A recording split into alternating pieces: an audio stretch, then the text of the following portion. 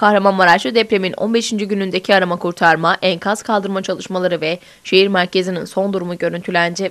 Şehir merkezine depremin en çok yıkıma uğrattığı Trabzon Caddesi, Azerbaycan Bulvarı, Haydar Aliyev Caddesi, Milli Egemenlik Caddesi ve Hükümet Caddesi'nde çekilen görüntüler felaketin verdiği yıkımın boyutunu ortaya koydu.